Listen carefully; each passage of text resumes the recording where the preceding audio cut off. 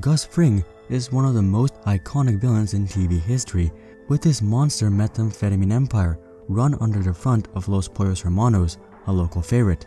In Breaking Bad, Jesse would reveal that Gus could be pulling upwards of $96 million in revenue over a three month period. But this was after decades of growth and only lasted a few months. So, how much money did Gus Fring make over his entire career?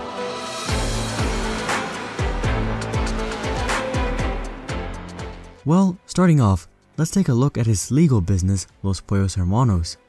Similar businesses generally pull in a few million dollars in revenue per store per year. For example, KFC has hovered in the 900s for much of the past 15 years. Chick-fil-A, on the other hand, rakes in over $4 million per store annually. One of the main reasons that KFC has significantly lower revenue numbers is that KFC, like many other fast food chains, has overextended, leading to more restaurants with lower revenue per restaurant. Given that Los Pollos Hermanos is an up-and-coming brand that has been quickly expanding up to 14 stores, it is safe to assume that they are generating 1 to 2 million dollars in revenue annually per store.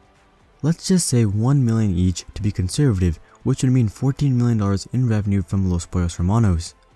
Gus has been in the business for about 20 years, and let's assume that the majority of the profits made in the first 15 years were reinvested into business, adding locations, trucks, marketing, and so on and so forth. As a result, we will say that Los Pollos Hermanos has been a stable regional chain for about 5 years. The average restaurant profit margin is 3 to 5%, so assuming a 4% profit margin, Los Pollos Hermanos would have generated $560,000 in profits per year or $2.8 million over 5 years. And we can use this figure to estimate the total valuation of the business including all of its assets. During this time period, the average PE ratio for restaurant chains was about 10 to 15. This is based on the PE ratio of Yum Brands during the time period, who owns a variety of restaurants including KFC, Taco Bell, and Pizza Hut. The PE ratio or price to earnings ratio is just a ratio between a company's yearly earnings and its valuation. As Los Pollos Hermanos makes $560,000 in profits per year, with a PE ratio of 12.5, Los Pollos Hermanos could be worth $7 million. But this is not all Gus's. It is clear that Madrigal has some sort of significant ownership in Los Pollos Hermanos. Some people suggest that it is the parent company, while others insist that Gus is still majority owner. So we'll just say that Gus and Madrigal are 50-50 owners. Given all of this, over Gus's career, Los Pollos Hermanos has given him $3.5 million in net worth and about $1.4 million in income or about $5 million in total. Moving on, let's take a look at his drug empire, most of which was with the cartel. Badger tells Jesse that street-grade meth has a market price of about $1,700 per ounce or about $27,200 per pound. When Walter was cooking for Gus, we know that Gus was moving 200 pounds per week, but this was after Gus took over Hector Salamanca's territory. So originally, when he was working under Don Bolsa, let's say that he was handling on average 100 pounds per week. First of all, out of his revenue, Gus would have to pay the cartel who handles the production of the substance. Let's say their cut is 30%. Next, we have the mules working across Gus's distribution network getting the products to the dealers.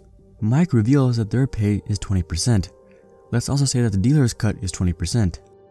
Finally, let's say Mike and Gus's other right-hand men get 10%. This sounds low, but you have to remember that the 10% is split among just a handful of people as opposed to the 20 or 30% which is split between hundreds of people. This finally leaves Gus with 20% of the revenue.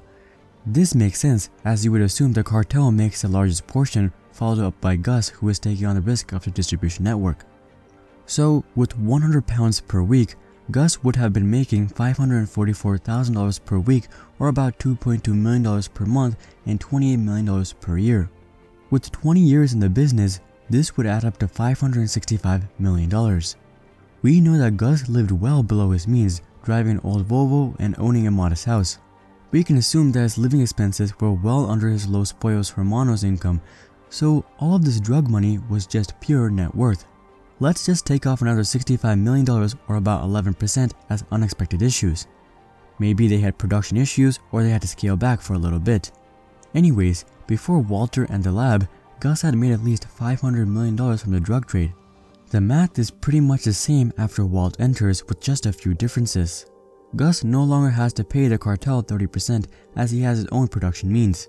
He now also controls Hector's territory leading to 200 pounds per week and the meth itself now sells for $2,500 per ounce. Instead of the cartel, Gus has to pay Lydia and Chow 20% for the chemicals and Walter and Jesse $1 million per month. The amount he pays Walter and Jesse works out to about 3.9% even with the upgraded $15 million a year. Let's just call them 5%. And then of course, there is the cost of the lab, which is estimated to be $8 million, but let's just call it 10. However, that's just a one-time cost, so overall, Gus's profit margin increases to about 25%. So Gus isn't really making all that much more in terms of percent compared to when he was working with the cartel. But the key difference is that he now has full control and has a higher market price. Given that this setup continues for about 6 months, Gus would roughly make $52 million over that time period. So at the time of Gus's death, he was making about $100 million per year. But as he dies, he only gets to about $50 million minus a $10 million lab cost. This means that Gus conservatively made a total of $540 million from his empire. Combined with Los Pollos Hermanos, Gus was worth about $545 million at the time of his death. But that's just conservative. Gus may have been peddling 200 pounds the entire time, and his restaurant chain may very well be worth double what we originally estimated. So Gus could be worth up to $1.05 billion.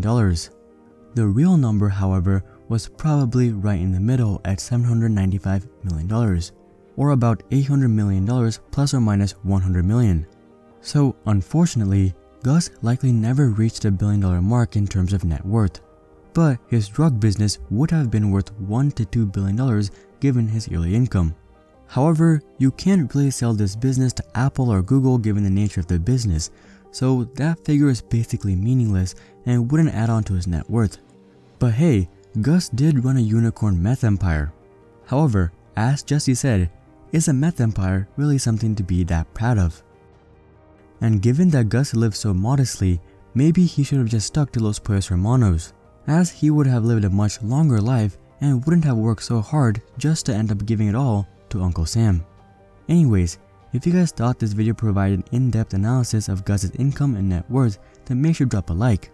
And consider subscribing to see more questions logically answered. But until then, I'm Hari, and I'll see you guys on the next one.